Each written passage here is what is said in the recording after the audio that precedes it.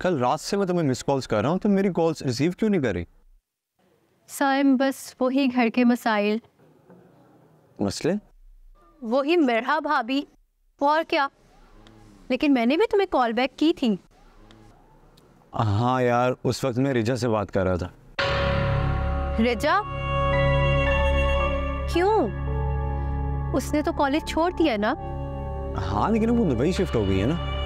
तो फिर उससे बात करने का क्या मकसद है साइम बात करने में क्या बुरा है अशल? मेरी तो उससे बात होती रहती है। कभी वीडियो कॉल्स पे और कभी वैसे में बात होती रहती है। अच्छा। अच्छा तुम क्यों इस तरह से पूछ रही हो? मेरी तो और भी गर्लफ्रेंड्स हैं। साइम मुझे बिल्कुल अच्छा नहीं लगता तुम्हारा हर लड़की के साथ फ्रैंक होना। तुम मत किया करो ना किसी भी लड़की के साथ बात। क्या मतलब है तुम्हारा? तुम्हें मेरी बात का मतलब समझ ही नहीं आ रहा। नहीं यशल मैं कौन हूँ तुम्हारी? तुम मेरी दोस्त हो यशल सिर्फ़ दोस्त? तुम मेरी सबसे अच्छी दोस्त हो।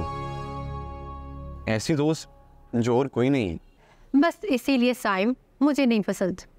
एक तो तुम लड़की है बिना इसमें बुरी बात क्या है साइम? ये तो हर कोई फील करेगा ना। अच्छा चलो छोड़ो ये सब। हमने जो मिलने का प्लान बनाया था तुमने उसका क्या किया? वो तो तुमने सोच कर बताना था ना। वैसे मैं इस वीकेंड फ्री हूँ। चलते हैं ना कहीं बाहर। नहीं यार मैं तुम्हारे साथ सिर्फ़ क्वालिटी टाइम स्पेंड करना चाहता हूँ। मेरे पास एक आइडिया है। किस तरह का आइडिया है? अरे भाई फुटबॉल का मैच हो रहा है। तो हम घर पे ही कह सकते हैं कि हम दोस्तों के साथ मैच देखने जा रहे हैं। साइम तुम एक तरफ़ कहते हो कि क्वालिटी टाइम है हम दोनों और अब तुम कह रहे हो कि मैच अरे यार इशल मैच तो एक सिर्फ़ बहाना है और तुम भी घर पे ही बहाना करके आ सकती हो और हम साथ में क्वालिटी टाइम स्पेंड कर सकते हैं और इसी वजह से हमारी प्राइवेसी भी रह जाएँगी। Are you sure hundred percent और बिया का क्या? अरे यार तुम वो सब मुझ पे छोड़ दो।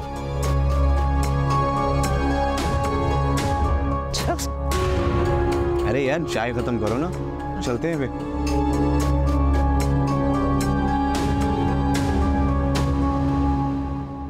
Aan Rishton Ki Pehchan and if you want to watch more entertaining content, subscribe to Aan TV's YouTube channel.